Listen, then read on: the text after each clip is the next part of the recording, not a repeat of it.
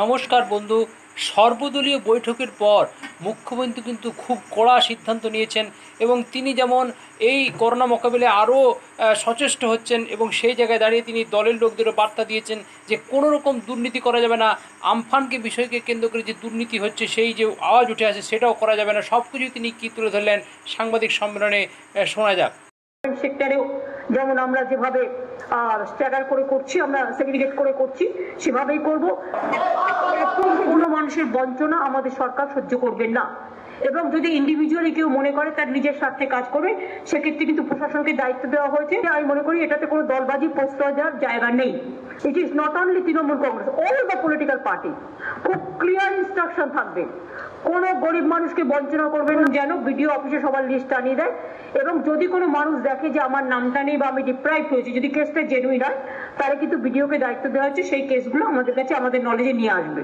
যদি ওই কাগজে ফর্মও ফিল করতে না পারে। এমনি একটা দরখাস্ত লিখে ফিল করে দিলেও সেটাও ভিডিওকে দেখতে হবে। এখনও আমি সময় দিচ্ছি সাত দিন। লিস্টে যারা বাদ গেছেন, অথচ জেনুইন তাদের নামটা তুলুন। চিফ দায়িত্ব দিয়েছি। হেলথের সাথে কথা বলে একটা গাইডলাইন্স এবং করে দেবে যে কার কোন ফিজ নেওয়া উচিত।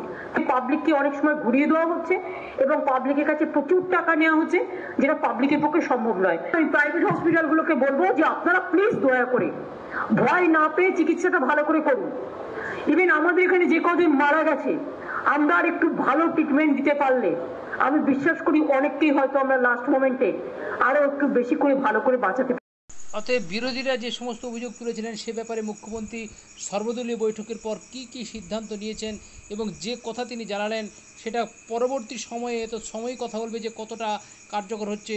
কিন্তু চারদিকে যে বিক্ষোভ তৈরি হয়েছে সেই বিক্ষোভের বিষয়ে কিন্তু কতটা এই সমস্ত মুখ্যমন্ত্রীর করা বার্তা মানে পদক্ষেপ ফেল, নিতে পারে সেটাই দেখার।